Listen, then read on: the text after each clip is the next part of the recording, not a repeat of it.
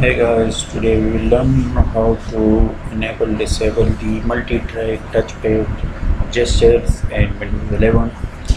So these are very handy features in Windows 11. So let's start. We get to the settings, go to devices, and we get to the touchpad gestures. So as we can see, we have this medium sensitivity we want to have its settings so we can say that enable trackpad point so if I hit now apply click apply so it will not work.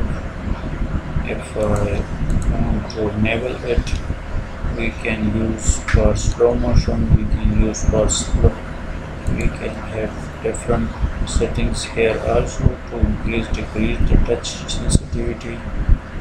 So in my system don't have this gesture touchpad so if I want to use it and make it disabled so now it's not working. If I hit OK it's, it will now work.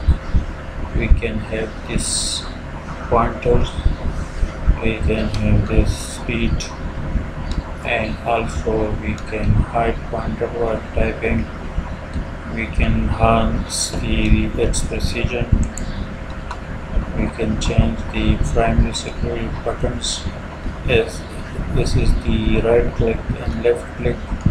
We can change it. So all these can be controlled from this menu and we can make it accordingly to our desired settings. I hope you have learned how to use the touchpad and its gesture settings in Windows 11. Thank you for watching.